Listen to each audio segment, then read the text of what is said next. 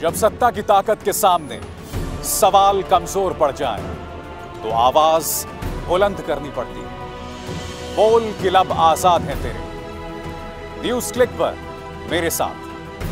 बोल के लब आज़ाद है तेरे। बोल जबां अब तक तेरी है। भारतीय जनता पार्टी का प्रचार तंत्र फिर से किसानों को गाली देने लग गया। कंगना रनावत जो कि भारतीय जनता पार्टी की सबसे बड़ी चाटुकार हैं, इन्होंने हमारे किसानों को फिर से आतंकवादी बता दिया। और किसान को आतंकवादी बताया तो बताया, देश को भी गाली दे रही हैं अब ये। आपकी स्क्रीन पर इन्होंने क्या कहा? और इन्होंने किसके जवाब में ये बात कहा? मैं आपको बाद में बताऊँगा। सबसे पहले इन्होंने क्या कहा? आपकी स्क्रीन पर। किसानों के मुद्दों की बात कोई इसलिए नहीं कर रहा है क्योंकि वो आतंकवादी हैं जो देश को बांटना चाहते हैं। ताकि चीन हम पर कब्जा कर सके, ताकि चीन हमारे कमज़ोर टूटे हुए देश पर कब्जा कर सके और उसे चाइनीज़ कॉलोनी बना दे, बिल्कुल अमेरिका की तरह। बैठ जाओ मूर्ख, तुम लोगों की तरह हम अपने देश को नहीं बेच रहे हैं। यह क्यों कहा कंगना रनावत ने? कंगना रनावत ने यह बात कही, दुनिया की सबसे मशहूर गायक रिहाना के इस बयान के जवाब में जो आपकी स्क्रीन पर है। और इसमें रिहाना यह कह रही हैं कि आखिर हम सब किसानों के प्रदर्शन के बारे में क्यों बात कर रहे हैं? अगर आपको समझना है रिहाना की क्या शख्सियत है तो आपको यह समझना होगा कि सिर्फ़ ट्विटर में इन्हें 10 करोड़ लोग फॉलो करते हैं, इनके 10 करोड़ समर्थक हैं। सिर्फ़ ट्विटर में। और हमारे प्रधानमंत्री नरेंद्र मोदी के 6 करोड़ समर्थक हैं, जिससे आप समझ सकते हैं कि रिहाना की शख्सियत दरअसल पूरे दुनिया में क्या है। मगर मुद्दा वो नहीं है। रियाना की हम बाद में बात करेंगे, उनकी अहमियत की हम बाद में बात करेंगे। सबसे पहले मैं बात करना चाहूँगा कंगना रनावत की। इस एक बयान में इन्होंने किसानों को गाली दी, देश को गाली दी। ये जो औरत हैं, ये जो महिला हैं, बगैर गाली दिए कुछ कह ही नहीं सकती। किसान को आतंकवादी कहा। इन्होंने भारत को वल्नरेबल ब्रोकन नेशन यानी कि एक कमज़ोर, टूटा हुआ देश, आगे देखिए। उन्होंने भारत को चाइनीज़ कॉलोनी भी अपने मुँह से बता दिया। हा? इसके बाद रिहाना को उन्होंने मूर्ख कहा, नासमझ कहा। और मैं आपसे पूछना चाहता हूँ, आपको शर्म नहीं आती देश के किसान को आतंकवादी बताते हुए? आज मेरी गुजारिश है पुलिस से, आज मेरी गुजारिश है गृह मंत्रालय से, मेरी गुजारिश है ट्विटर से कि कंगना रनावत के ट्विटर हैंडल को तुरंत हटाया जाए। क्योंकि बार बार ये महिला अपने ट्विटर हैंडल के ज़रिए भड़काऊ बयान देती हैं। अब इन्होंने किसानों को आतंकवादी बता दिया है। मैं आपसे जानना चाहता हूँ, इनके जो समर्थक हैं, अगर उनमें यह संदेश जाएगा, जो जा चुका है, जो किसानों को आतंकवादी बताते रहेंगे तो इससे क्या असर पड़ेगा मुझे बताइए। किसानों को आतंकवादी बताना यह कहाँ की सभ्यता है भाई? और फिर आगे कहती हैं कि ये जो किसान हैं, वो हमारे देश को बांटने की कोशिश कर रहे हैं ताकि चीन हम पर कब्जा कर ले। हमारे 20 सैनिक मारे जाते हैं, मोहतरमा कंगना। 20 सैनिक शहीद हो जाते हैं और प्रधानमंत्री नरेंद्र मोदी के मुँह से आज तक चीन शब्द नहीं निकला है। क्या आपने कभी प्रधानमंत्री नरेंद्र मोदी को इस मुद्दे पर कटघरे में खड़ा किया है? कि मेरे 20 जवान शहीद हो गए थे और खाप खामोश रहे उनके आक्रामक के बारे में? उनके गुनहगार के बारे में। चीन अब भी हमारी ज़मीन पर कब्जे किए बैठा हुआ है और उसके बारे में आपके मुँह से एक शब्द नहीं निकलता। कितना जलील होंगी मैडम आप। और देश के बारे में कहना वल्नरेबल ब्रोकन नेशन टूटा हुआ देश। टुकड़े टुकड़े गैंग कौन है भाई? अगर आज की तारीख में आपको लगता है कि मेरा देश टूटा हुआ है तो इसका जिम्मा किसी और का नहीं, बल्कि पिछले छह सात सालों में जो सरकार चल रही है, जिसने देश के अंदर टुकड़े टुकड़े गैंग और न जाने किस तरह की चीज़ें, किस तरह की चीज़ों का समावेश हमारी ज़ुबान, हमारी बोली में हुआ है यह उसका परिणाम है।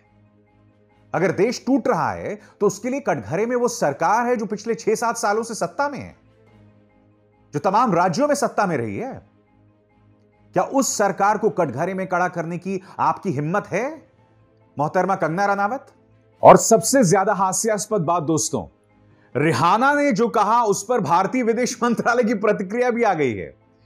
रिहाना जो है, वो कोई देश नहीं है। वो एक प्राइवेट सिटीजन है। वो एक गायक है। और उस पर भारतीय विदेश मंत्रालय की प्रतिक्रिया भी आ गई, इसलिए तो मैं बोल रहा हूँ दोस्तों एक आदमी की इज़्ज़त बचाने के लिए इन लोगों ने देश की कूटनीति की ऐसी तैसी कर दी है।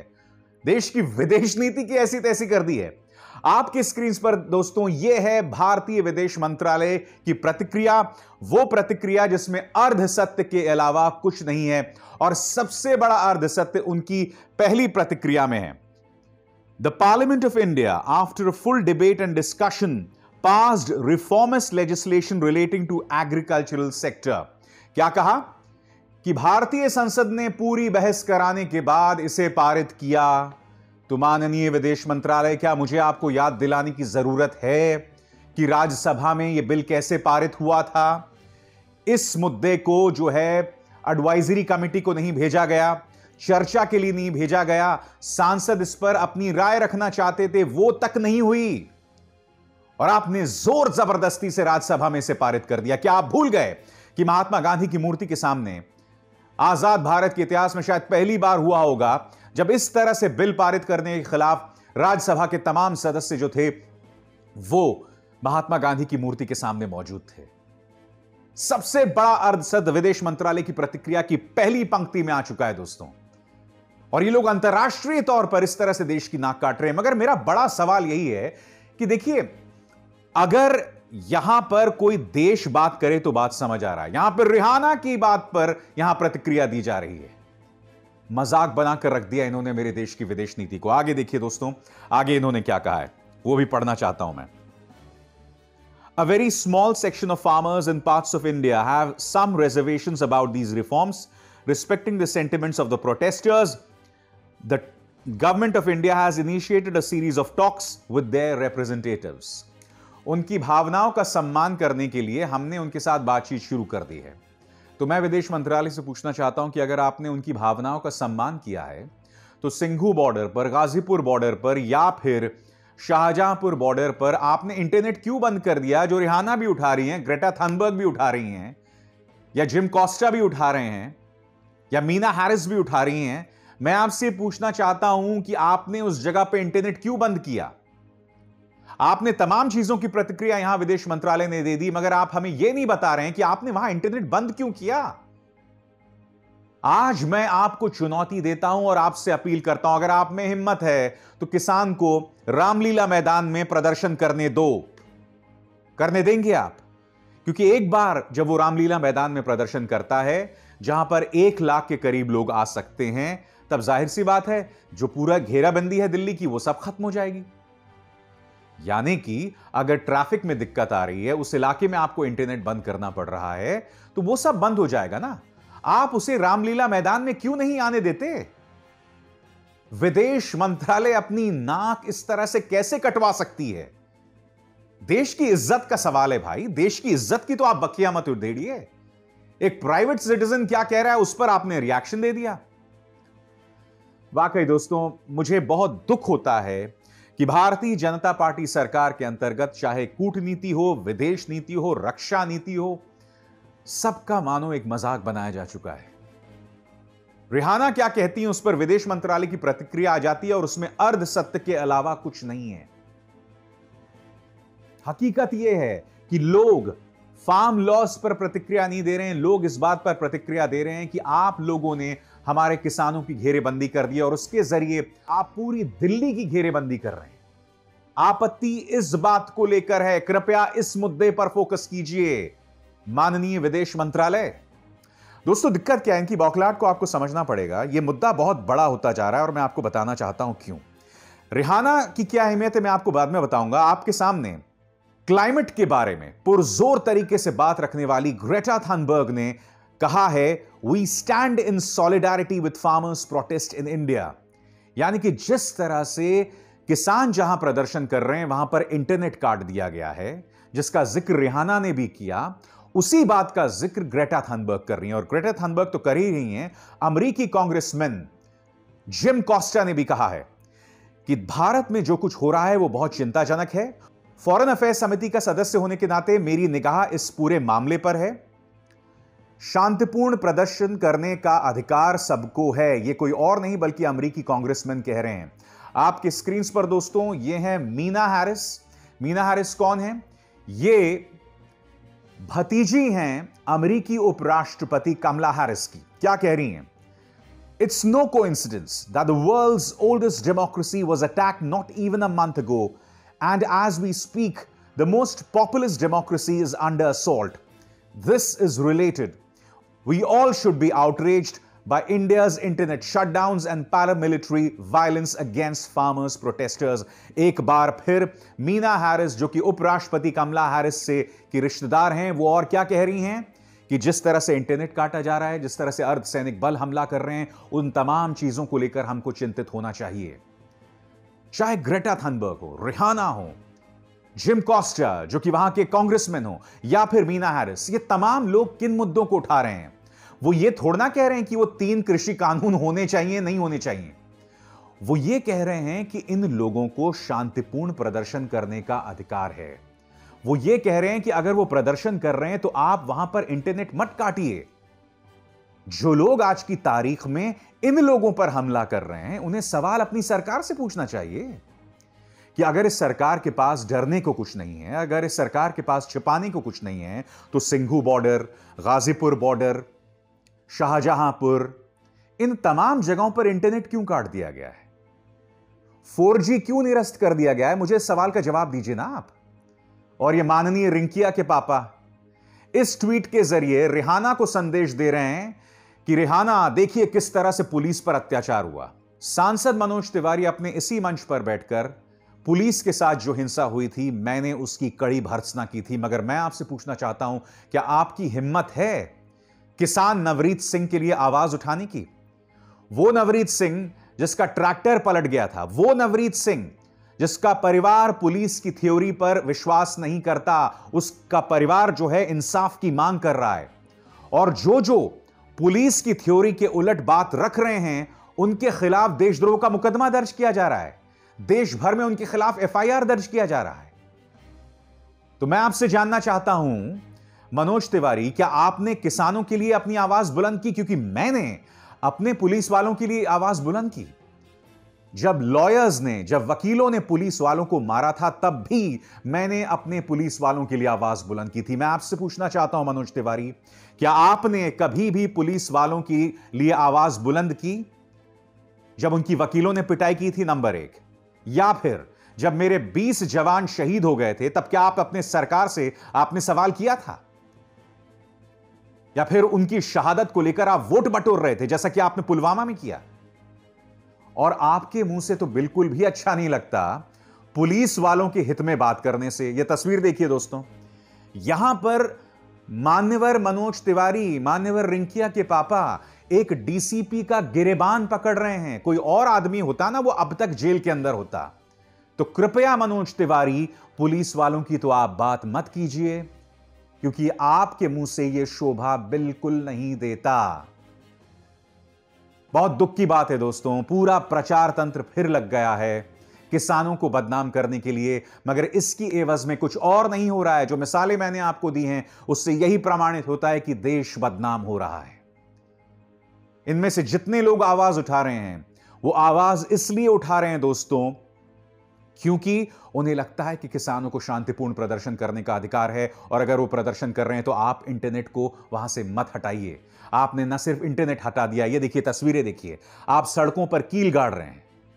आपने वहाँ बैरिकेडिंग कर दी है। आपने स्थायी सीमेंट स्ट्रक्चर्स खड़े कर दिए हैं। इतना डर। 303 सीटों वाली सरकार को इतना डर। और सबसे दुख की बात है दोस्तों कि विपक्ष भी जब यह आवाज़ उठाता है, मैं ट्विटर पर एक क्लिप देख रहा था जो कि पवन खेरा, कांग्रेस के प्रवक्ता पवन खेरा ने अपने ट्विटर हैंडल पे पेश किया। उसमें इंडिया टुडे का जो पत्रकार है, वो उनसे पूछ रहा था कि भाई, क्या ये पूरा मामला मोदी बनाम एंटी मोदी नहीं हो गया है? तो इसका जवाब बखूबी दिया पवन खेरा ने। और मुद्दा यहाँ पर यही उठता है कि प्रधानमंत्री नरेंद्र मोदी से सवाल उठेगा। उस एक व्यक्ति की शख्सियत को बचाने के लिए आप इंटरनेट नहीं काट देंगे। उस एक व्यक्ति की शख्सियत बचाने के लिए आप गतिरोध नहीं पैदा कर देंगे। उस एक व्यक्ति की शख्सियत बचाने के लिए, उसका करिश्मा बचाने के लिए आप सड़क पर कीले नहीं लगा देंगे। क्योंकि उस एक व्यक्ति की इज़्ज़त बचाने के लिए आपने पूरे देश की इज़्ज़त की बखिया उधेड़ दी है। दोस्तों, रिहाना के बयान से आखिर भारतीय जनता पार्टी का प्रचार तंत्र क्यों बौखलाया हुआ, आपको एक बात समझना होगा। मैं आपको पहले बता चुका हूँ, इनके 10 करोड़ फॉलोअर्स सिर्फ़ ट्विटर पर हैं। समर्थक सिर्फ़ ट्विटर पर हैं। और इससे पहले आपके स्क्रीन पर आप देख सकते हैं, इन्होंने मुद्दा उठाया था सुदान में। सुदान में भी दोस्तों, वहाँ का जो सैनिक तानाशाह था, उसके खिलाफ वहाँ की जनता प्रदर्शन कर रही थी और रिहाना ने वो मुद्दा उठाया था और उनके उस मुद्दे उठाने का ज़बरदस्त असर हुआ था। उन्होंने क्या कहा था? आपकी screen military rulers need to be held accountable praying for no more killings और abuse today fight for human rights in Africa and stand with protesters in Sudan क्या बोल रही हैं यहाँ पर रिहाना? कि सैनिक तानाशाहों को कोई अधिकार नहीं है लोगों के हकों को दबाने का। मैं उनके मानवाधिकार के साथ खड़ी हूँ और हत्याएँ नहीं होनी चाहिए और गाली गलोज नहीं होना चाहिए और मानवाधिकार हनन नहीं होना चाहिए। इन्होंने सूडान का मुद्दा उठाया था। और उसका नतीजा यह हुआ था कि एक भूचाल आ गया था बिल्कुल और उसका सीधा असर सूडान पर पड़ा था। बीजेपी इसलिए बौखलाई हुई है। मगर आज मैं पूछना चाहता हूँ, आप सबक तो नहीं ले रहे हैं, आप उल्टा, उल्टी बुद्धि से और काम कर रहे हैं विनाशकाली विपरीत बुद्धि आप पर बिल्कुल फिट बैठता है, क्यों मैं आपको बताता हूँ? आपके सामने, ये देखिए बिहार सरकार ने क्या किया है। Anyone found staging protest sitting on a dharna blocking roads will not be eligible for government jobs और any kind of government contract says Bihar police new circular यानी कि कोई भी जो धरना करेगा, रास्तों को रोकेगा, या फिर किसी तरह का प्रदर्शन करेगा, उसे सरकारी नौकरी नहीं मिलेगी, ये किसी और का नहीं, बल्कि भारतीय जनता पार्टी शासित बिहार का है। यानी कि अब ये हम लोगों का लोकतांत्रिक अधिकार छीन लेना चाहते हैं प्रदर्शन करने का। कंगना रनावत के शब्दों में कितना जलील हो गया आप लोग, मैं ये समझना चाहता हूँ आपसे। कितना जलील हो गया आप लोग। इस सरकार के अंतर्गत, भारतीय जनता पार्टी की सोच के अंतर्गत लोकतंत्र क्या होता है हम नहीं जानते हैं। ये खबर देखिए दोस्तों, हाथरस का जो दुष्कर्म हुआ था और उसके बाद हत्या हुई थी हाथरस की गुड़िया की उस मामले में मैं आपको बतलाना चाहूँगा कि जो पत्रकार सिद्दीक कप्पन आए थे, उनके खिलाफ आतंकवादियों वाली धारा लगा दी गई और वो व्यक्ति महीनों से जेल में पड़ा हुआ है। आपके सामने ये खबर देखिए। यह आदमी लगातार गुहार लगा रहा है कि मेरे नब्बे साल की माँ मृत्युशैया पर है, उनकी गंभीर हालत है। कुछ दिनों पहले सुप्रीम कोर्ट ने इजाज़त दी थी कि वो अपनी माँ के साथ वीडियो कॉल कर सकें। मगर क्या आप जानते हैं कि सिद्दीक कप्पन अपनी माँ के साथ जब वीडियो कॉल कर रहे थे तो उनकी माँ उन्हें पहचान नहीं पा रही थी। उनकी हालत इतनी गंभीर है, मगर सिद्दीक कप्पन को पाँच दिनों के लिए रिहा नहीं कर सकते। कहाँ है लोकतंत्र इस देश में, दोस्तों? इंसानियत कहाँ गई आपकी? और अब तक उत्तर प्रदेश सरकार ऐसा कोई प्रमाण पेश नहीं कर पाई कि सिद्दीक कप्पन एक आतंकवादी है। और यह खबर देखिए। 19 जनवरी को क्या हुआ था दोस्तों? सीतापुर के जो डीएम हैं, उन्होंने एक सौ बासठ लोग जो कि किसान के मुद्दों पर प्रदर्शन कर रहे थे, उन पर सख्ती करते हुए 10 लाख रुपए के बॉन्ड जो हैं, उसका नोटिस जारी कर दिया था। इलाहाबाद हाई कोर्ट ने डीएम सीतापुर को कड़ी फटकार लगाई। नतीजा यह हुआ कि अब जाकर, जो कि आलोक पांडे खबर दिखा रहे हैं एनडीटीवी के the UP government has told Allahabad high court the DM Sitapur is dropping proceedings against all 162 people mostly farmers issues breach of peace notices for 10 lakh rupee bonds on on January 19 मतलब क्या हुआ इसका कि आखिरकार जो इन्होंने notice जारी कर दिए थे दस लाख रुपए वाले उन्हें खत्म करना पड़ रहा है जब इलाहाबाद हाई कोर्ट ने उन्हें फटकार लगाई आप जानते हैं मंदीप पुनिया के मामले में कोर्ट ने क्या कहा मंदीप पुनिया के मामले में कोर्ट ने कहा कि बेल जो है वो नियम होना चाहिए और जेल अपवाद, यानी कि बहुत ही कम मौकों पर आपको शख्स को जेल पर भेजना चाहिए। और यह कहकर उन्होंने मंदीप पुनिया को रिहा कर दिया। आज मैं आपसे पूछना चाहता हूँ कि मंदीप पुनिया और सिद्दीक कप्पन के बीच का फ़र्क क्यों? ये तमाम मुद्दे मैं आपके सामने इसलिए रख रहा हूँ क्योंकि इस देश के अंदर लोकतंत्र टूट रहा है। कंगना रनावत जब आप देश को यह कहती हैं कि दो देश बिखरा हुआ है तो आपको यह मुद्दे उठाने चाहिए। आप मेरे देश को चाइनीज़ कॉलोनी बता रहे हो। आपने जो शब्द कहे वो कोई और कहता तो उसके खिलाफ अब तक देशद्रोह का मुकदमा दर्ज कर दिया जाता। लोकतंत्र की यह हालत है जो मैं अब आपको बतला रहा हूँ अपने कार्यक्रम में। इन मुद्दों पर आपको गौर करना चाहिए, मगर आप जैसे बीजेपी के चाटुकार से मैं उम्मीद नहीं कर सकता हूँ। दोस्तों, आप और हम इन मुद्दों से मुँह नहीं मोड़ सकते। अब यह मुद्दा अंतर्राष्ट्रीय हो चला है और क्यों हो चला है? क्योंकि अंतर्राष्ट्रीय समुदाय को इस बात की चिंता नहीं है कि आपको वो तीन कानून लागू करने चाहिए या नहीं लागू करने चाहिए। उसकी चिंता इस बात पर है, जिस तरह से किसान को बदनाम किया जा रहा है, जिस तरह से किसान पर दमन हो रहा है, जिस तरह से किसान जहाँ प्रदर्शन कर रहा है, वहाँ पर इंटरनेट काटा जा रहा है। ये तमाम मुद्दों को लेकर अंतर्राष्ट्रीय समुदाय चिंतित है और उसकी चिंता यही है।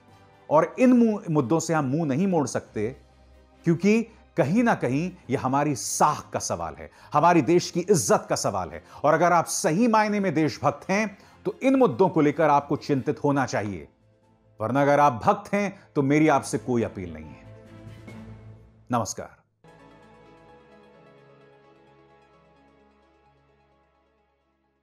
you